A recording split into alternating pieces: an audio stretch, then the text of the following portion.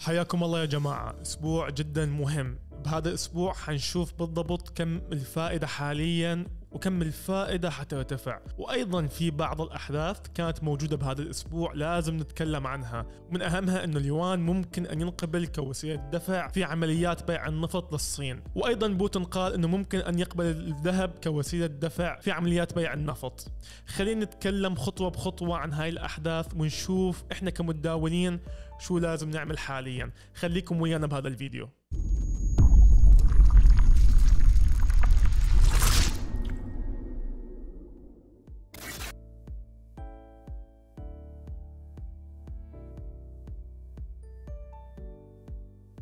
يا هلا بيكم. طبعا هذا الأسبوع في عندنا بعض الأحداث لازم نتكلم عليها واللي هي أهمها احتمالية رفع الفائدة 50 نقطة. طبعا هذا الشيء حيكون يوم الثلاثاء يوم 13 طبعا خلينا نفتهم حاليا وضع التضخم. حاليا هو 7.7 أكو احتمالية جدا عالية إنه يتم هبوطه إلى 7.3 في حال التضخم ما هبط هذا الشيء ممكن إنه يؤدي إلى رفع الفائدة أكثر من 50 نقطة. خلينا حاليا نمشي خطوة بخطوة نشوف شنو ممكن يصير. خلينا نقول ان وضع التضخم كان إيجابي وتم هبوطه عن 7.7 فهذا الشيء ممكن أن يتم رفع الفائدة 25 نقطة أو 50 نقطة وهو هذا المتوقع. ولكن كان التضخم أعلى من 7.7 هذا الشيء ممكن يؤدي لرفع الفائدة أعلى من 50 نقطة. طبعا بهاي الحالة أنتم ممكن تشوفون الذهب والعملات في هبوط. طبعا خلينا ننبه إلى نقطة جدا مهمة إنه حتى لو كان التضخم ماشي باتجاه إيجابي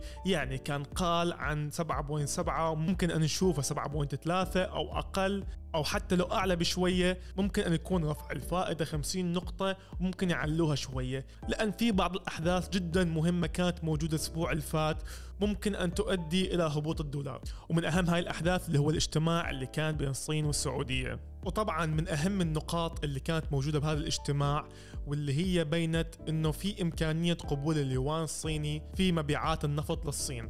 هذا الشيء ممكن يقوي اليوان الصيني ومما يؤدي إلى ضعف الدولار. فهنا احتمال جدا عالي إنه نشوف الفائدة ممكن ترتفع حتى يبقى الدولار محافظ على وضعه حاليا. وأيضا في موضوع ثاني واللي هو إنه بوتين قال إنه في احتمالية أن يتم قبول الذهب في عمليات بيع النفط. طبعا هذا الشيء كان مخطط له من زمان جدا وأيضا كان هناك بعض المقالات تبين هذا الشيء فكل هاي الأسباب احتمال ترفع الفائدة 50 نقطة أو أكثر. وخلينا حاليا نتكلم كمتداولين. إحنا مع هاي الأحداث شنو لازم نعمل حاليا؟ أنت إذا كنت متداول مبتدئ أو متوسط خليك بعيد حاليا. إلا إذا أنت كنت فاهم بنظام الشمعات وممكن تفوت بصفقات جدا سريعة فهذا الشيء ممكن أن تحقق منها أرباح. أما إذا أنت ما عندك المعلومات الكافية حاليا بالتداول الأول فما أنصحك حاليا بهذا الوقت إنه تفوت خاصة يوم غد يوم الثلاثاء حيكون يوم جدا صعب. فإحنا خلينا نشوف حاليا تحليل البيتكوين. إذا تشوفون إحنا بعدنا في الترند الهابط يعني هذا الترند كان بادي يوم 22 5 للآن إحنا ماشيين فيه.